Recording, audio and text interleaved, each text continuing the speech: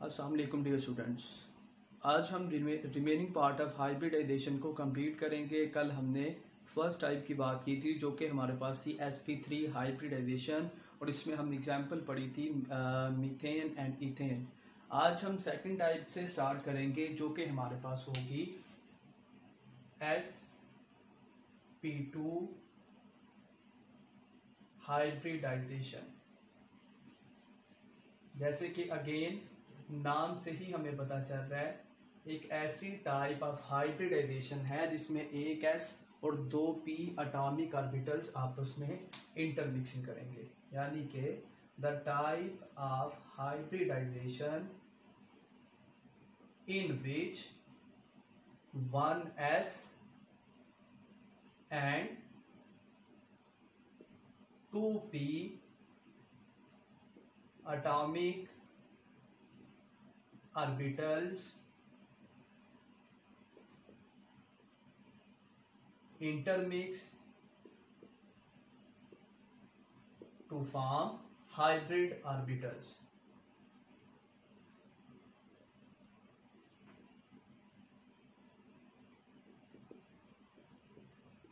ये हमारे पास डेफिनेशन हो गई एसपी टू हाइब्रिडाइजेशन की। और sp2 हाइब्रिडाइजेशन को हम एक्सप्लेन करेंगे with the example of ethene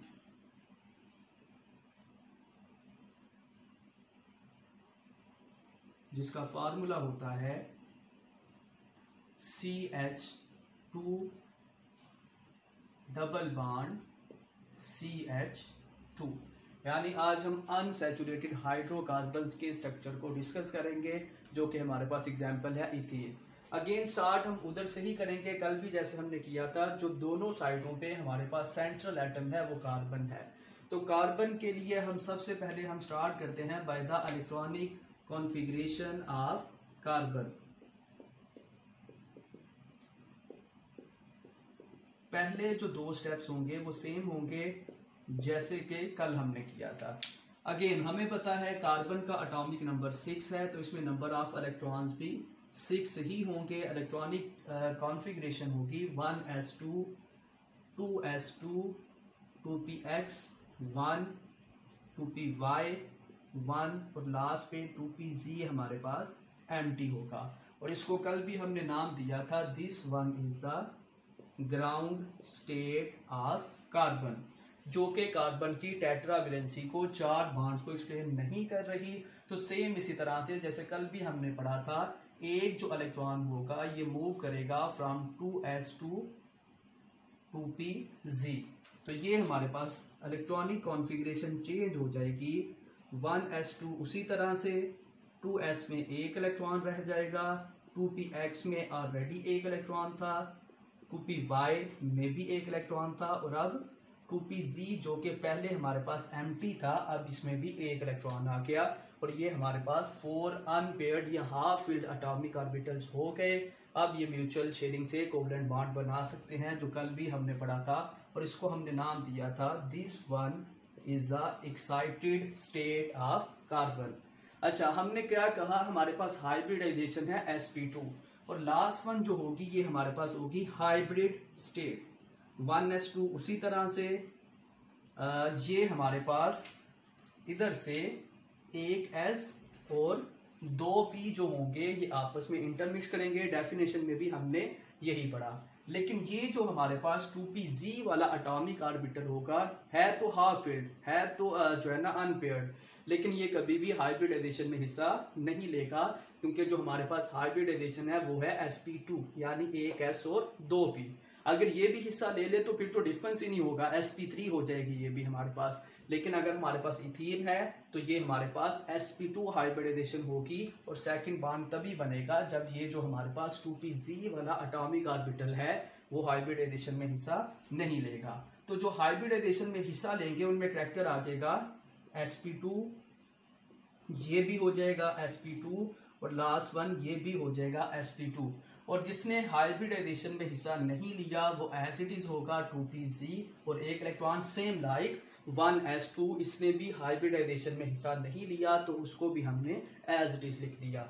और ये जो लास्ट वन स्टेट होती है, इसको हम नाम देते हैं this one is the hybrid state of carbon atom अच्छा जी, अब हमारे पास कार्बन टू टाइम्स है सेम लाइक जैसे हमने लास्ट टाइम पढ़ा था स्ट्रक्चर ऑफ़ इथेन में।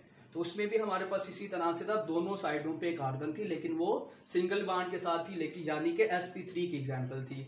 अब हमारे पास दोनों साइडों पे कार्बन है, और इसी को हम क्या करेंगे, जैसे हमने डेफिनेशन में भी पढ़ा था, जो हमारे पास अटोमिक ऑर्बिटल्स होते हैं, एक एस और साथ में इसका नाम है टू एस और इसके साथ में हमारे पास है दो पी एक हमारे पास क्योंकि पी की शेप होती है डम्बल एक हमारे पास हो जाएगा अलोंग एक्स एक्सिस इसको हम नाम दे देते हैं टू पी एक्स और लास्ट वन जो होगा, ये होगा अलोंग वाई एक्सिस तो ये भी हम इस तरह से ड्रा कर लेंगे और इसको नाम दे देते हैं two p y according to the definition of hybridization ये हमारे पास तीनों के तीनों हैं अटोमिक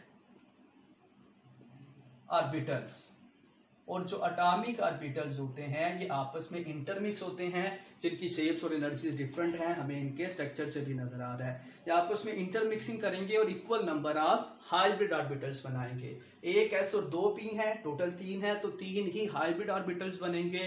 और उनकी शेप और एनर्जी सेम होगी। हम डायरेक्ट तीन हाइब्रिड ऑर्बिटल्स को ड्रा कर लेते हैं। कल मैंने आपको एक अलग से हाइब्रिड ऑर्बिटल ड्रा करके बताया था। फिर मैंने बताया था स्मॉलर ग्रुप को। For the sake of convenience हम ड्रा नहीं करते। यानी कि तीन अटॉमिक कर रहे हैं तो हमारे पास तीन ही हाइब्रिड ऑर्बिटल्स भी बन जाएँगे। ये हमारे पास हो गए हाइब्रिड ऑर्बिटल्स अच्छा जी अगेन वही बात जो मैं आपको बता रहा था, क्योंकि दोनों साइडों पे हमारे पास कार्बन है। एक कार्बन के लिए अगर इस तरह से तीन हाइब्रिड बनेंगे तो दूसरी के भी तीन ही बनेंगे। इसको चाहे हम वर्टिकली ड्रा कर लें, चाहे हॉरिजेंटली ड्रा कर लें, इसमें कुछ भी प्रॉब्लम नहीं है, क्योंकि हमारा बोर्ड इस डायरेक्शन में है तो हम इसको ज़्यादा कन्वीनियंट है, हम इसको हॉरिजेंटली ड्रा कर लें। इस तरह से भी कर दें तो फिर इसके ऊपर एक ड्रा करना पड़ेगा, जो कि थोड़ा बोर्ड में एडजस्ट करना मुश्किल होगा। अच्छा जी, दोनों कार्बन के लिए हम तीन तीन हाइब्रिड ऑर्बिटल दोनों साइडों पे ड्रा करते हैं, और फाइनल स्ट्रक्चर हमारे पास बनेगा।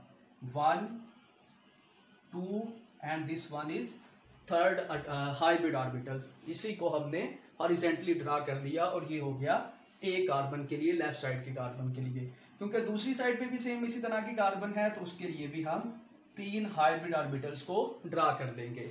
अच्छा हमने कहा था, एक हमारे पास अटोमिक ऑर्बिटल था, जिसने हाइब्रिडाइजेशन में हिस्सा नहीं लिया था, और वो था टू पी जी। इसका मतलब ये हुआ, वो स्ट्रक्चर के उधर, ऊपर परपेंडिकुलर रहेगा, उसने हाइब्रिडाइजेशन में हिस्सा नहीं लिया। तो हम उसको क्या करते हैं? परपेंडिकुलर इसके ऊपर ड्रा कर लेते हैं। इसको मैं थोड़ा सा नीचे कर देता हूँ, ताकि ऊपर वालों के साथ कुछ कंफ्यूजन ना हो। ये थोड़ा हम स्ट्रक्चर नीचे करके बना लेते हैं।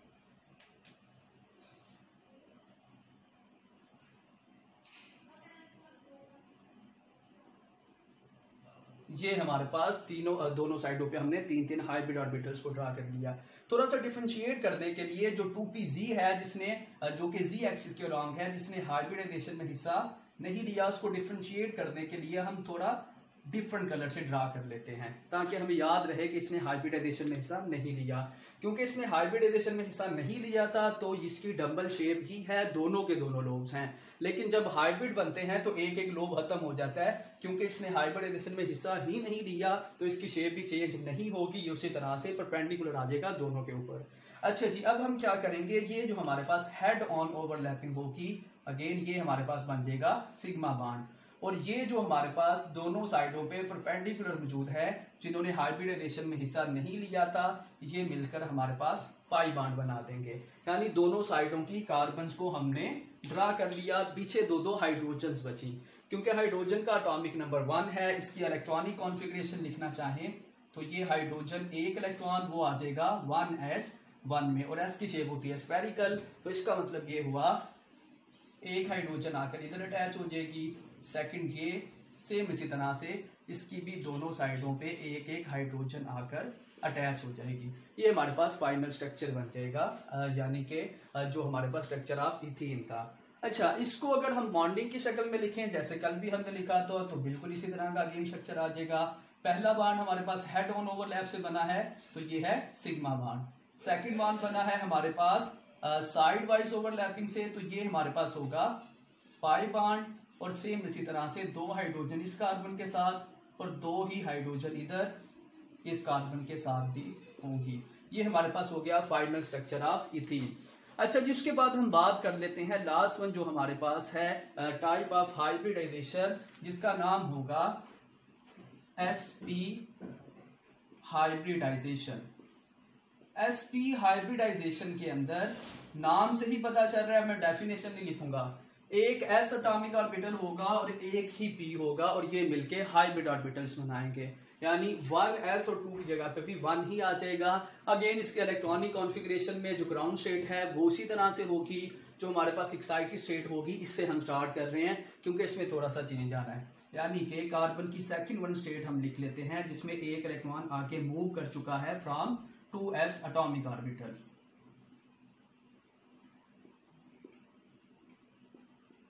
two P X one, two P Y one और टू पी जी में भी एक इलेक्ट्रॉन आ चुका है।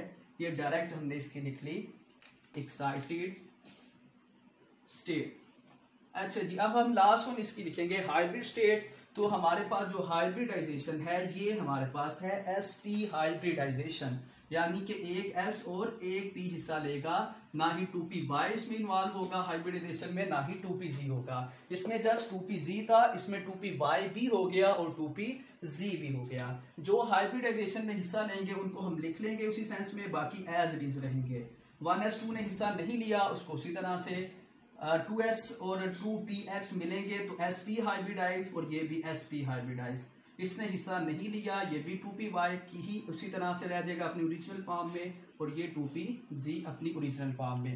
और इसको हम नाम देते हैं हाइब्रिड स्टेट अच्छा जी अगेन हम उसी तरह से जैसे हमने ऊपर ड्रा किया, इसको ड्रा कर लेते हैं। अब हमारे पास एक टू एस अटोमिक ऑर्बिटल है और एक ही पी ऑर्बिटल है जो कि अलोंग एक्स एक्सिस हमारे पास है। तो ये हम इस तरह से इसको भी ड्रा कर लेते हैं। यानी एक एस और एक ही पी। तो ये हमारे पास एक एस और एक ही पी मिलेगा।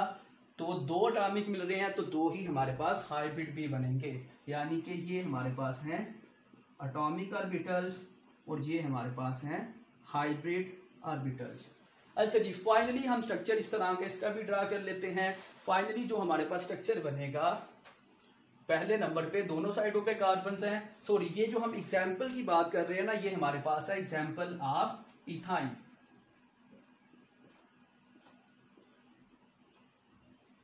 और इसका फॉर्मूला होता है C H triple bond C H अच्छा जी, दोनों साइडों पे कार्बन हैं तो एक कार्बन के दो हाइब्रिड बने हैं। लेफ़्ट साइड वाले की भी ड्रा कर लेते हैं और राइट साइड वाले, यानी दोनों कार्बन के इस तरह के दो दो हाइब्रिड ऑर्बिटल्स को हम ड्रा कर लेते हैं। ये एक साइड पे हो गए और ये हमारे पास दूसरी साइड पे हो गए अब हमारे पास दो ऐसे एटॉमिक ऑर्बिटल हैं जिन्होंने हाइब्रिडाइजेशन में हिस्सा नहीं लिया। जो हाइब्रिडाइजेशन में हिस्सा लेते हैं वो जाके आ, उनकी शेप और एनर्जी चेंज होती है। लेकिन क्योंकि टू पी वाई भी इन्वॉल्व नहीं हुआ टू पी जी भी इन्वॉल्व नहीं हुआ तो ना ही इनकी शेप चेंज होगी और ना ही इनकी जो एनर्जी है वो चेंज होगी अपनी ओरिजिनल फॉर्म में रहेंगे और इन दोनों के ऊपर ये परपेंडिकुलर फॉर्म में आ जाएँगे। अच्छा जी दोनों को हम ड्रा कर लेते हैं। जस्ट एग्ज़ाम्पल पहले नंबर पे हमारे पास है वाई को पहले ड्रा कर लें या जी को कर ले? ये हमने ड्रा कर लिया। टू पी जी को। सेम लाइक जैसे हमने ऊपर भी ड्रा किया था, क्योंकि इसने हाइब्रिडाइजेशन में हिस्सा नहीं लिया। लेकिन अभी एक और बचा हुआ है, वो है टू पी वाई। इसको डिफ्रेंशिएट करने के लिए ब्लैक से हम ड्रा कर लेते हैं। ये हमारे पास हो गया टू पी वाई, और इसने भी हाइब्रिडाइजेशन में हिस्सा नहीं लिया। मैं साथ में इनके मेंशन भी कर देता हूँ। ये हमारे पास है टू पी वाई, जो हाइब्रिडाइजेशन में इन्वॉल्व नहीं हुआ इसको हम रिप्रेजेंट कर रहे हैं ब्लैक मार्कर से। और जो हमारे पास रेड में है, ये हमारे पास है। टू पी जी अगेन इसने भी हाइब्रिडाइजेशन में हिस्सा नहीं लिया। अच्छा जी, अब हम चेक करते हैं, ये जो हमारे पास हेड ऑन ओवरलैपिंग होगी तो हेड ऑन ओवरलैपिंग की वजह से जो बाड बनता है, उसको हम हमेशा नाम देते हैं सिग्मा बाड और उसके बाद हमारे पास ये जो रेड है, ये जाकर ओवरलैप करेगा साइड वाइज तो ये एक पाई बाड हमारे पास बन जाएगा। सेम इसी तरह से ये जो हमारे पास ब्लैक है, जो कि असल में टू पी वाई है, ये आपस में ओवरलैप करेंगे तो ये भी पाई बाड बना देंगे। यानी कि एक सिग्मा और दो पाई बाड जैसे कि हमें इस स्ट्रक्चर के अंदर भी नज़र आ रहा है, जो कि ऊपर हमने इथाइन का स्ट्रक्चर ड्रा किया हुआ है। तो इसको अगर हम बॉन्डिंग की फॉर्म में बनाना चाहें तो अगेन इस तरह का हमारे पास स्ट्रक्चर आ जाएगा। अब स्पेस कम है तो मैं थोड़ा सा इसको छोटा करके इधर बना देता हूँ। यानी कि पहले नंबर पे हमारे पास कार्बन एक साइड पे और ये दूसरी साइड पे भी कार्बन हो गई। एक बाड है सिग्मा, फिर दो बाड है पाए और साथ में इसके साथ भी एक हाइड्रोजन है, और इधर भी एक हाइड्रोजन अटैच होगी। ये हमारे पास हो गई एस पी हाइब्रिडाइजेशन और इसमें हमने डिस्कस कर दिया स्ट्रक्चर ऑफ़ इथाइन ये लोग भी मैं थोड़ा सा सही करके बना दूँ, ताकि आपके लिए कुछ कंफ्यूजन ना हो।